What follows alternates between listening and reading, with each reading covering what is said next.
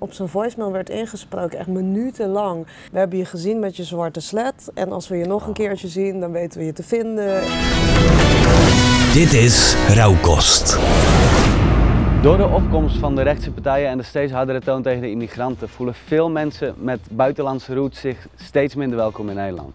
Vaak gaat het ook echt om goed geïntegreerde, maar ook goed opgeleide personen. En ja, sommige hiervan die overwegen zelfs om gewoon te vertrekken uit Nederland.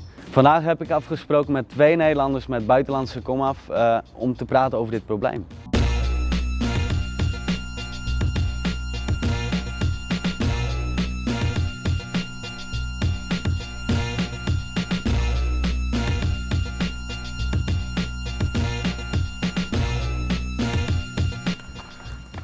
Shafik, waarom zitten we eigenlijk in een kerk? Ja, dit is mijn uh, atelier. Dit is jouw atelier? Nou ja, gedeelte, ja. Dus uh, we hebben hier een pastorie en een kerk hebben we in beheer. Ja? ja? Ben je zelf ook gelovig of dat niet? Nee. Nee? Helemaal niet? Nee, ik geloof niet. Maar we zijn hier dus vandaag natuurlijk vanwege het, uh, het hele probleem dat buitenlanders zich niet thuis voelen in Nederland. Uh, ja. Jij bent zelf van Marokkaanse afkomst? Ja, klopt. Voel je jezelf ook echt een Nederlander? Ja, ik voel me meer Amsterdammer, denk ik. Ik ben wel uh, volledig verbonden met Nederland. Ik ben er gewoon geboren, dus het is ook mijn land. Ja. En uh, ik voel me ook Marokkaans natuurlijk. En dat zijn weer de, de roots die ik heb meegekregen. En uh, een cultuur die ik meedraag, waar ik heel trots op ben. Ja, voel je jezelf echt thuis in Nederland? Nou, ik voel me in Amsterdam heel erg thuis, ja. ja. En ja, ik denk dat, dat hier en daar het klimaat wel een beetje aan het, aan het veranderen is. En mm. Nederland toch iets minder tolerant aan het worden is. Heb jij zelf een vorm van discriminatie wel eens gevoeld, zeg maar, om jou heen of om jouw dochter heen? Of? Nou, ja, nou, kijk, ik, ik woon uh, in mm. Amsterdam, Watergaasmeer. Weet je, dat is daar is het allemaal wel uh, heel erg links. Ja, ja, dus het is, daar, daar hebben wij niet zoveel, uh, daar hebben we niet zoveel last van. Uh, maar ik heb wel in mijn omgeving gehoord van uh, moeders die bijvoorbeeld uitgescholden worden op straat met een hoofddoekje. Ben jij zelf ook van plannen om hier iets tegen te gaan doen of doe je al iets? Uh, nou ja, goed, wat ik nu doe is, ik ben echt op alle manieren, wanneer ik, ik bijvoorbeeld ben laatst met, met de NPO Radio 1 ben ik gaan praten met PVV-stemmers. Ja. En gewoon gevraagd, gewoon kennis gaan maken, vragen wat hun beweegredenen waren. En er zitten ook wel begrijpbare redenen bij. Maar inderdaad kom je er toch wel achter dat dat ze vaak het partijprogramma niet eens gelezen hebben. en helemaal niet zo'n haat hebben tegen, tegen een buurvrouw die toevallig ook moslim is. Maar het is natuurlijk gewoon de angst.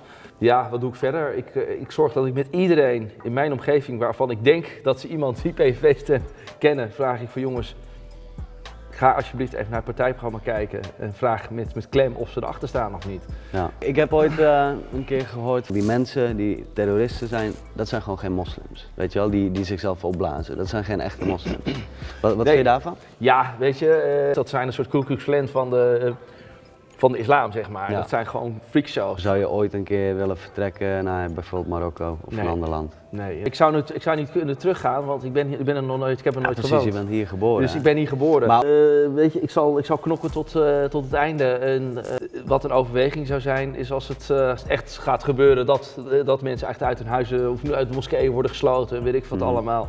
Ja, dan moet je toch wat dingen gaan overwegen van ja, ga je weg of, of blijf je. Nou, ik vind het echt super knap wat je doet en hou het ook gewoon even vol. Serieus. Ja, dankjewel. Uh, ja. Wil jij nog iets tegen onze kijkers zeggen? Uh, nou ja, weet je, ken je mensen die PVV stemmen, probeer ze te overtuigen. Uh, ik zou zeggen, bekijk het partijprogrammaatje even en zorg dat mensen niet op PVV gaan stemmen als we nog een leuk land willen houden. Waar mensen wel aardig voor elkaar zijn. Top. Super bedankt en ja, heel veel dankjewel. succes met alles. Ja, dankjewel. Top. Oké, okay, dit is duidelijk. Shafiq, die laat zich niet wegjagen uit Nederland. Hij vecht ervoor. Maar er is ook een andere kant van het verhaal. Ik heb nu afgesproken met Savira. Die zit er zelfs aan te denken om Nederland te verlaten door al die racisme, door die rechtse politiek en zo. Laten we even naar haar verhaal luisteren. Ja, welkom, leuk dat je er bent Dank je. en uh, dat je even met me wilde praten. Ik heb begrepen dat jij, jij voelt je niet echt welkom hè, in Nederland. Klopt dat? Klopt, ja, dat kan, klopt. Kan je daar misschien wat meer over vertellen? Er zijn momenten uh, momenten waarop uh, er veel discussies zijn over allochtonen of over de multiculturele maatschappij. Ja. En dan zijn er wel momenten waarop ik denk van, ja, moet ik hier wel blijven? Als Wilders nou inderdaad de grootste partij wordt. Zou dat zeg maar dan ook echt de druppel zijn als Wilders aan de macht zou komen? Ja, om een paar redenen. Eén uh, is dat nu, wat er nu in Amerika gebeurt, is, daar kijk je dan toch een beetje naar. En dan, kijk, we hebben een ander soort politiek in Nederland, een ander soort politiek systeem.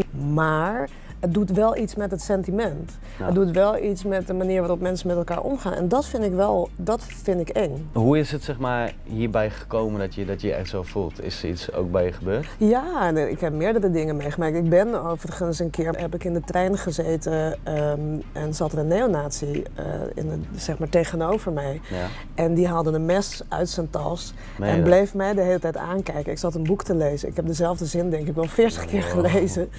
En uh, die bleef zo naar me kijken terwijl hij met dat mes zat te spelen. En dat was al heel erg eng.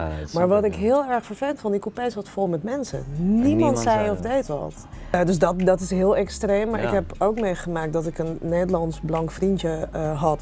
En uh, die werd toen gebeld en op zijn voicemail werd ingesproken, echt minutenlang. We hebben je gezien met je zwarte sled en als we je nog een keertje zien, dan weten we je te vinden. Maar wat ik, waar ik me zorgen over heb gemaakt de afgelopen jaren, is dat we dat zoveel de ruimte hebben gegeven. Ik heb nog nooit een goed argument voor racisme gehoord. Als ik een goede vriend heb die zijn vriendin slaat, keur ik dat af. Dan zeg ik niet, nou, dus er moet ook ruimte zijn voor jouw gevoelens. Dat is gewoon onzin. Ooit ten tijde van de Tweede Wereldoorlog, zeg maar in de jaren daarvoor, dacht mhm. ook nooit iemand dat het zo ver zou komen.